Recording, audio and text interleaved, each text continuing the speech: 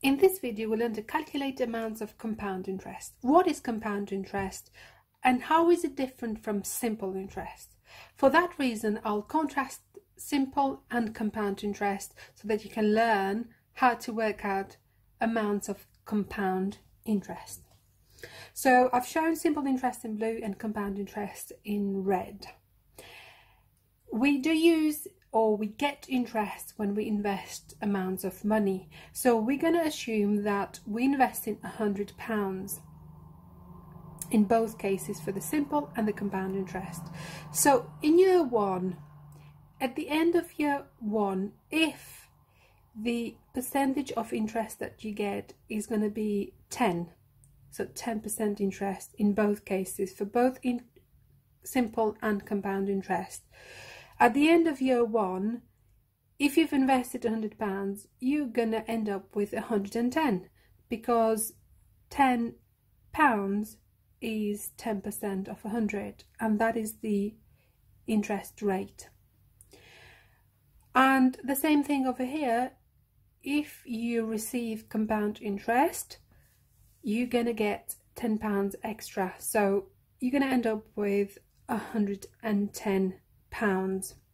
And we'll show that using a simple method which is called the multiplier method.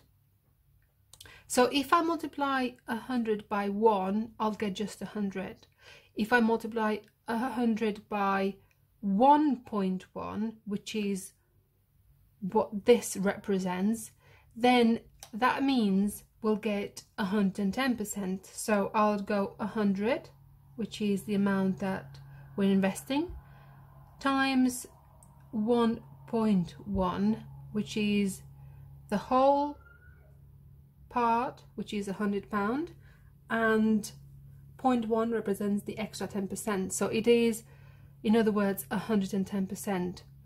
So that gives us 110 pounds. And the same thing on the other side. That's how we work it out. So we've got 100 which is the principal amount or the initial amount times 1.1 which is 110% converted to decimal is equal to 110 pounds. Now in year two what happens in year two in year two, if you paid simple interest, you're going to get the £100 and the £10 and the £10 because you get 10% no, no matter what. So you get, in the, at the end of the first year, you got 10%, which was £10. And at the end of year two, you're going to get an extra £10. So the amount of interest doesn't change. So just by looking at it, you'll know you're going to get 120 pounds. But to work it out, we get the initial amount, which was what we invested, times 1.2, because it's 110% in total now. That gives us 120 pounds. So up to this point, that's what you had at the end of year one. This is the extra amount that you're getting at the end of year two. And looking at compound interest, what you get in the second year is actually 10% of this whole amount, not 10% of the £100 they invested, but 10% of whatever you accrued at the end of year one. And then in year three, you're going to get 10% of what you had at the end of year two. So you get 10% of this whole amount, not just the £100 that you invested. So that's the difference between simple and compound interest. So again, to work it out, we got £100 that we invested. And then we multiplied it by 1.1, which means 10% extra, to get that first year figure. But now for the second year, you're going to multiply this by 1.1 as well because you're looking at find the, that increase of 10% for the amount that you had in total at the end of year one. So again, we worked it out here. That was the 10% of the 100. Whatever we invested, that's the 10% that you get all the time. Whereas here you get now an extra 10% of this whole amount. So for that reason, we multiplied by 1.1 and by 1.1 again.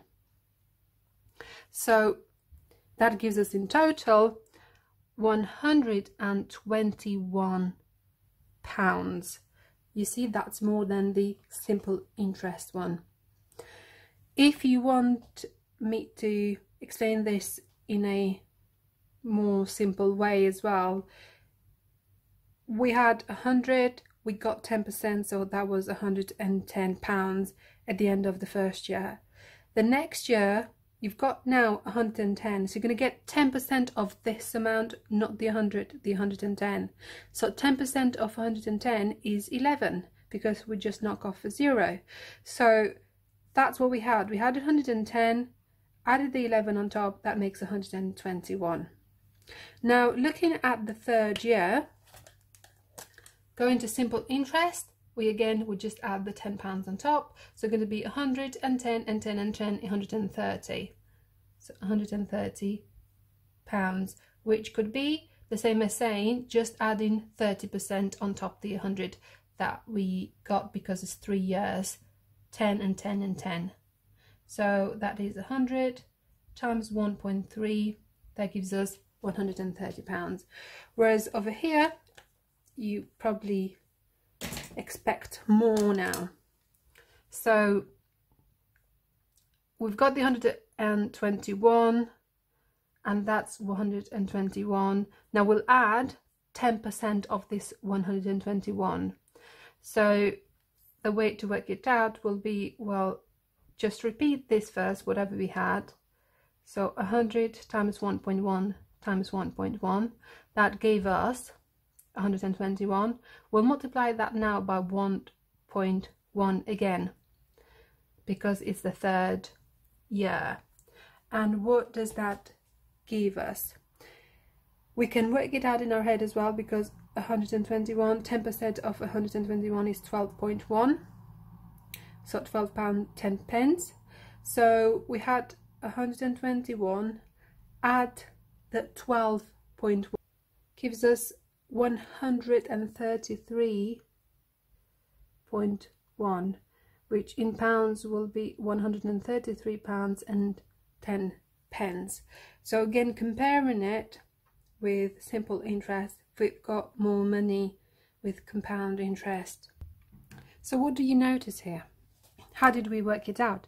So we had 100 first which was the initial amount. So always comes the initial amount. So 100 times by where did we get that 1.1 why is that 1.1 uh, so that's decimal form of 110 percent. So 100 because if you multiply it just by 10 percent it's going to give you only the small amount. We want the 100 and the 10% on top. That's why we say 1.1 rather than 0.1 so times 1.1 because 10% was the interest rate so if the interest rate was um, 2%, we would have 1.02.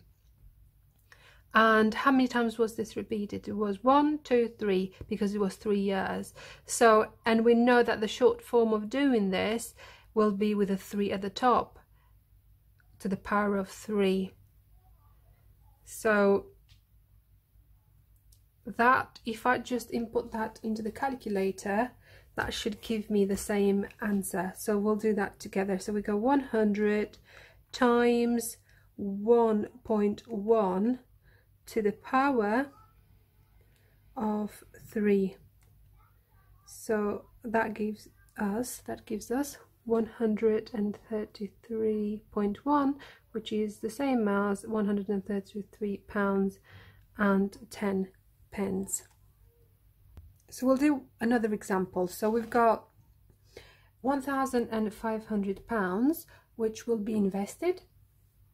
Let's look at one example. So we've got um, £1,500 to invest and it will be of um, five years at 3% compound interest rate. So we'll do 1,500, which is the initial amount, multiplied by 1.03. So it's adding three pennies on top of the, of the pound. And then that will be with a 5 at the top, which means to the power of 5, because this would be repeated 5 times. So we get a calculator to work it out. So 1500 multiplied by 1.03 to the power of 5, which gives us 1738 pounds and 91 pence. Now, if you didn't have a scientific calculator, you could have just done 1,500 times 1.03 times 1.03 times 1.03 times 1.03 times 1.03 so five times because it's five years and that gives us exactly the same amount. Just be careful to not put 0.03 because that's gonna dramatically reduce the initial amount rather than increase it which means that it's going to give you only the 3% rather than the 3% on top of the 100 and let's look at a final example. Let's say we're uh, investing 15,272 pounds over two years. So at the end of year one you'd get um, 5% and at the end of year two you'd get 4.5% compound interest. So what do we multiply? So we start as always with the initial amount which is 15,272 multiply that by 1.05 because that's 5% on top of the initial amount and then multiply that by 1.045 so that is four and a half percent. So four percent would be 1.04 just like four pennies on top of a pound and then a half of it comes after the four. So that is 1.045 plug that into the calculator.